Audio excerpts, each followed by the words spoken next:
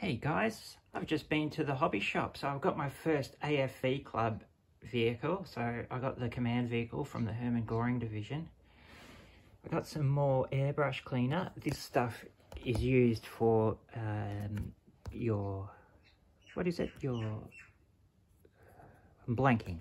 Glue, sorry, glue, that's the word, glue. That's exactly the same as Tamiya's thin glue.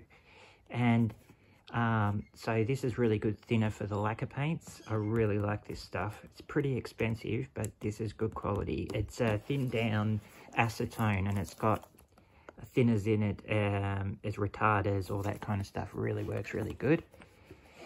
I also got some SMS acrylic lacquers. So I got some light khaki. That's going to be for my, um, I'm building a full interior T54. I've got some German brown. This is another German yellow. So this is a bit darker. RAL 8020. So we'll try that out.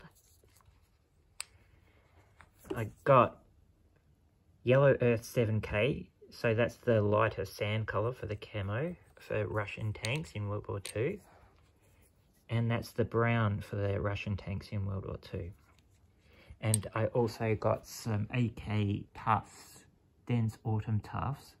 And I'll see how they go. I wouldn't mind trying some of that AK diorama stuff. So we'll see if they look any good. But uh, this is pretty exciting. So I reckon we'll have a look at this in a minute. Have a look. Um, the only disappointing thing is it's got rubber tracks. But it's, so you get, these are the wheels. I haven't had a good look. We'll open it up and I'll make another video where we have a good look because this is my first AFV Club kit and I want to compare it, build it with the Dragon one and compare it, see, you know, who does the better half track. I reckon Dragon does, honestly. But we don't know yet, so you never know until you go. It's got a really nice radio set in it, newly tall radio set, which is going to be fun. And just looking at it so far, it does look pretty good. Like, it, it does. It, it does look pretty damn good. So they're saying that all the armour is scale thickness, which is cool. Hey, Elsie, what are you doing? What's that? I think they're resin parts. They've put some resin parts in there, so we'll have to have a look at that when we when we have a look. Radio set or something, I'm not sure.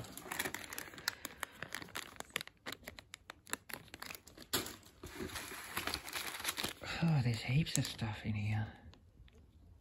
It does look like it's pretty good too. Not sure. We'll have to have a look. Oh, yeah, rifles and machine guns and all kinds of cool stuff. Seats. These are the rubber tracks. They look alright. They actually look really good quality.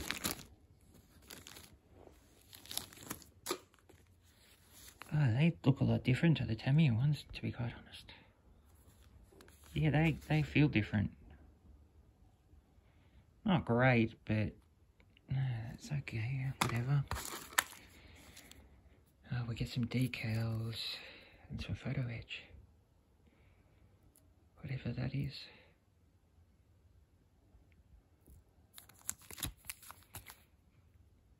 Some decals for the Hermann Göring division. Yeah, all these pictures in the bottom. Cool. All right, I'll um, we'll we'll pull it all out. and We'll have a look. All right, I'll speak to you again very soon.